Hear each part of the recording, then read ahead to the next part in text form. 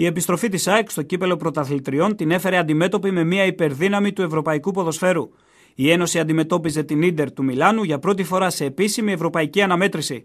Οι Ιταλοί εκμεταλλεύτηκαν την εμπειρία και τη σπουδαία ομάδα που είχαν δημιουργήσει αποκτώντας σκορ πρόκρισης από τον πρώτο αγώνα του Σαν Σύρο. Ο Πομόνης ήταν αυτός που είχε ανοίξει το σκορ, αλλά στο κατάμεστο από 80.000 ποδοσφαιρικό ναό, οι γηπεδούχοι ανέτρεψαν την εις τους κατάσταση και έφτασαν στο 4-1. Η Ρεβάν της Νέας Φιλαδέλφια σηματοδοτούσε ένα παιχνίδι σταθμό για την ΑΕΚ.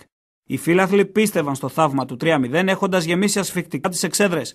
Η Ιντερ, ωστόσο, πήρε προβάδισμα στο 17ο λεπτό με τον Σάντρο Ματσόλα και σε εκείνο το σημείο πίστεψε πως η υπόθεση πρόκριση είχε πια εξασφαλιστεί. Οι παίκτες της δεν πτωήθηκαν ούτε από την αποβολή του Μπερτίνη στο 19.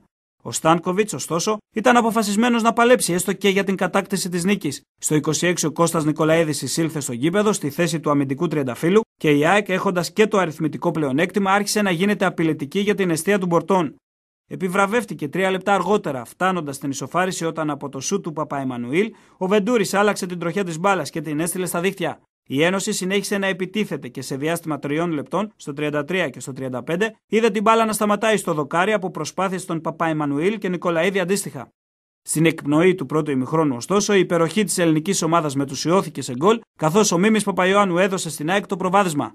Στην έναρξη της επανάληψης, η ντερ έδειξε πως δεν είχε διάθεση να διακινδυνεύσει σε κανένα σημείο και έβαλε φρένο στον επιθετικό ρυθμό της ΑΕΚ. Στο 76 μάλιστα κατάφερε να ισοφαρίσει σε 2-2 έχοντας ως σκόρερ τον Μπονισένια.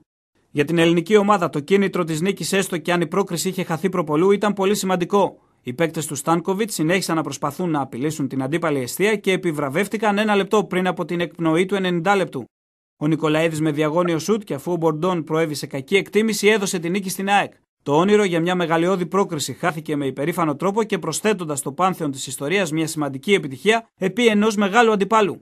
Η Ιντερ τη σεζόν αυτή έφτασε κοντά στην κατάκτηση του τρίτου κυπέλου πρωταθλητριών μετά από εκείνα της περίοδου 64 και 65, αλλά στον τελικό σταμάτησε στις ορέξει των παικτών του Άγιαξ, οι οποίοι επικράτησαν 2-0 και παρέμειναν στην κορυφή της Ευρώπης για δεύτερη συνεχόμενη χρονιά.